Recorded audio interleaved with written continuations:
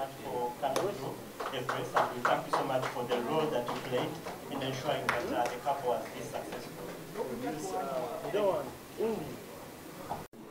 It takes us, all of us, as FUFA, as Ugandans, your contribution is part of the development. It's part of what contributes to our qualification. So we encourage every stakeholder to come in. If you're a fan, participate in such campaigns.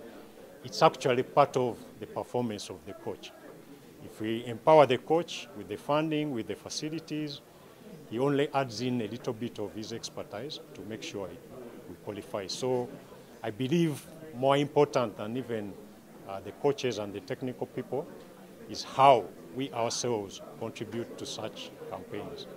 So I believe this campaign has opened up and uh, further more campaigns will come in and we expect that uh, Ugandans will contribute generously the way they've done. collected 450 million, and this was over a space of uh, exactly four weeks.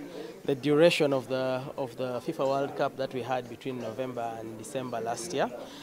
And uh, just like I mentioned in the press conference, this is not the end. This is by far and surely not the end because we still have a journey ahead of us. It's not done. And we all know that 450 million just isn't enough to be able to get us there. But it will go a long way in being able to help us address certain projects that may get us there quicker.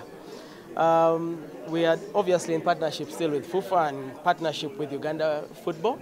And uh, what we want to do is to continue now uh, and, and try to start accelerating preparations for the 2026 World Cup. We have qualifier matches that are coming up. We have uh, different engagements. Nile Special will, con will continue to be able to support uh, the federation and Ugandan football.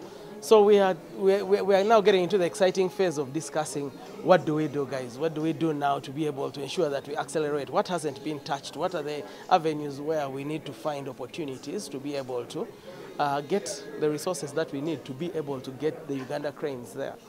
And that is what we're excited about doing. So, by, so the, the, the, simple answer to that question is this is only the beginning. It is not the end, it's definitely the start.